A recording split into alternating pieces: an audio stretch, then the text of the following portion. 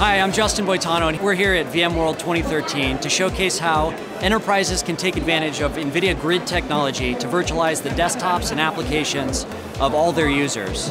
Up until now, many applications couldn't be virtualized and delivered from the data center. So we've got a number of great demonstrations here at the booth. We've got Adobe Photoshop, We've got Autodesk AutoCAD, and we've got Siemens Teamcenter Viz, which shows that with a grid-enabled virtual desktop, you get the full level of detail and interactivity that you get at your native desk.